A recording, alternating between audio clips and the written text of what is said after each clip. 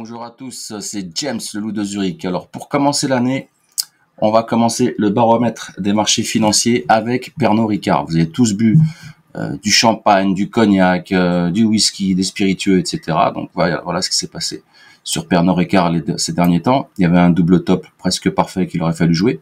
Maintenant, on a ici un shark en rouge, d'accord, et on pourrait aller chercher cette zone-là, ce qui est très cohérent parce qu'on a ici un gap. Je sais pas si vous le voyez bien, je vais vous le grossir un peu là.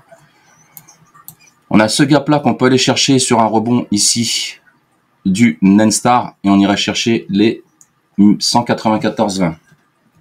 Ensuite, j'ai détecté encore autre chose qui pourrait nous faire descendre un petit peu plus. Ici, c'est ce Gartley.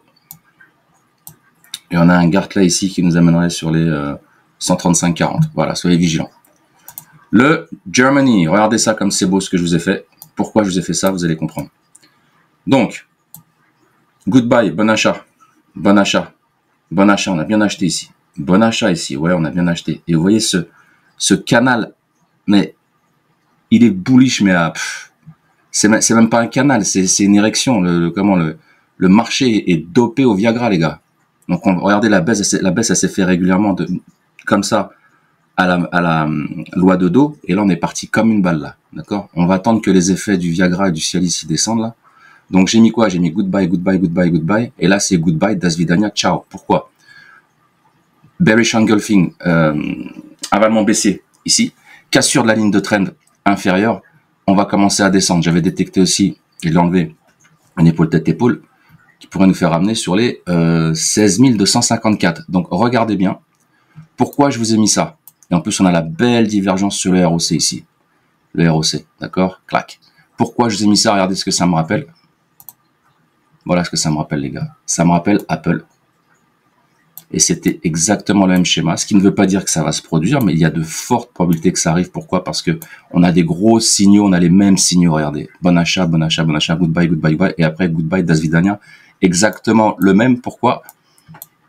On avait la, bougie d'avalement baissier ici. On a cassé la ligne de traîne, bam, ça a dégueulé. Boum, on a refait 50% de Fibonacci. Le euh, Nenstar qu'on a ici, il est toujours valide on peut encore redescendre 50, de 50%. Donc faites attention, on peut aller chercher les 182, 88. C'est sur Apple. Tesla, je vous l'ai mis parce qu'il y avait une petite baisse. Pourquoi? Bah, Premier butterfly que j'avais donné, il a été juste parfait. Regardez, on a remonté, on a fait 100%, 100% les gars, 100%. On a fait 100% pratiquement de la baisse. Là, on a un deuxième butterfly, butterfly qui nous ferait monter sur les 290. Euh, Pourquoi? Bah regardez, à cause de ça, d'accord, le gap on a toujours cette divergence qui est ici. Donc, c'est normal que ça descende là, maintenant. OK? Et on peut aller chercher le gap qui est ici, l'autre gap qui est vers les 205. Euh, Donc, soyez prudent sur Tesla. L'euro USD. Alors, USD, deux schémas. Deux possibilités, comme, toujours en bourse. On peut avoir ça. OK donc j'avais donné la vague de Wolf, bam, on était descendu. Ici, euh, je vous avais expliqué aussi ce qui pouvait se passer. Là maintenant, ce qui peut se passer, c'est ça, les gars. vague de Wolf, ici. Là, je vous la fais vite fait en live. C'est du direct, hein. Je prépare pas grand chose en fait. Je fais tout au feeling. Là, on peut peut-être faire ça, les gars. Ici et là. Voilà, on peut déjà aller chercher ce niveau-là. Le premier niveau, c'est celui-là. La ligne 2-4, elle est ici. Et dans ce cas-là, hop, on irait chercher ça. D'accord? Donc le premier niveau qu'on irait chercher, on peut faire ça sur le USD, soyez, soyez vigilants. Ok, on peut aller chercher les 1,08 326, on peut les réintégrer. Et même descendre plus bas sur ce niveau-là que j'avais tracé, qu'on avait déjà fait ici, que je vais enlever tout de suite. Voilà. Ça, c'est les niveaux. Par contre, le deuxième scénario, vous le connaissez tous, c'est le fameux triangle ascendant qui pourrait nous ramener sur les, bon, j'avais dit 1,26 au plus haut, mais déjà le premier, ça serait plutôt les 1,14, 965. Ouais, 1,14, ça serait bien. Par là, là. Par ici, vous voyez. Ce niveau-là, là. Là, là. Même 1,12, 824. 1,12, 581, je veux dire. Voilà, ce serait ces niveaux-là, c'est le niveau qu'on allait chercher. Sur l'euro CHF, regardez, il a dégueulé. On est descendu. Euh, j'ai repéré ici une figure shark. Donc, ce qui pourrait se passer, c'est ça. Plus vous avez une vague de wolf. 1, 3, 5. D'accord? 5, casse 3. On réintègre. Bam, on monte. D'accord? Donc, on pourrait faire ça. Euh, je vous le redessiner. Bougez pas. Euh, tac. On pourrait déjà aller chercher ce niveau-là à la hausse. Ça peut aller pas très vite, mais c'est faisable. Regardez ces mèches.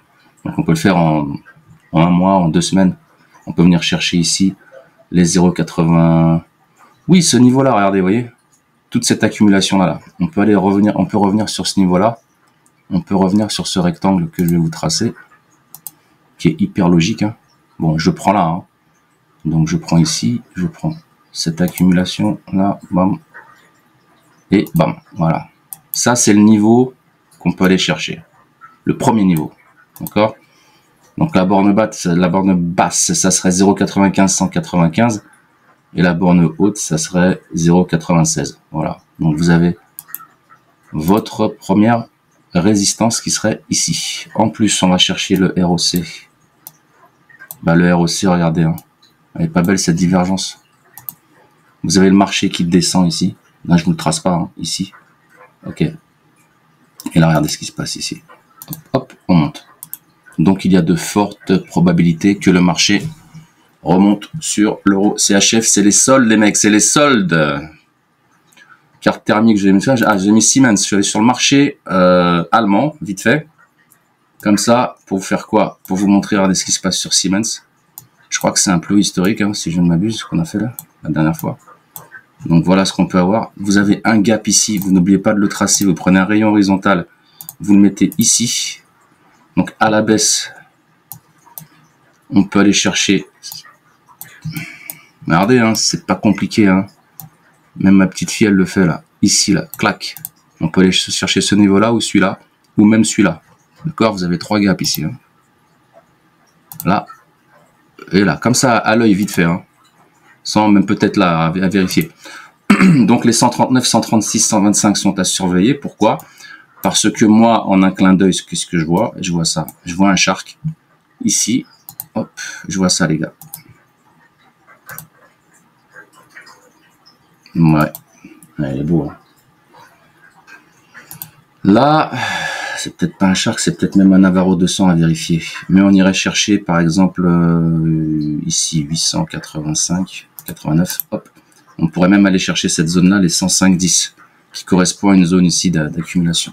Ensuite, on passe sur MBG, je crois que c'est Daimler, Mercedes-Benz. Voilà Mercedes-Benz qui s'est passé. D'accord Le ROC commence à rentrer en territoire négatif. Qu'est-ce qui peut se passer sur Daimler? Bonne question. Euh, on va faire simple.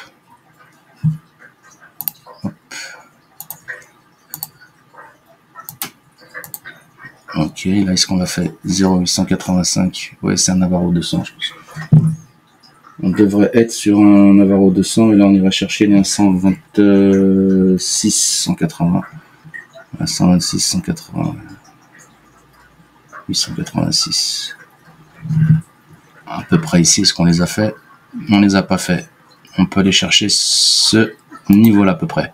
On peut aller chercher les 54. Voilà. Ça, ça serait à la baisse. Et en fait, vu que c'est un une figure harmonique qui en fait oscille les gars, donc elle reste verte, je reviens sur Siemens. Donc si on fait ça et on descend, c'est vert. Parce que ça prédit, entre guillemets, même si j'aime pas ce mot-là, on n'est pas des prédicateurs. Euh, voilà, un rebond comme ça. D'accord? Mais d'abord, le premier, ça serait plutôt ce retracement-là, les gars. On va aller chercher ça, je le laisse, on vérifiera plus tard. Moi, je vois ça.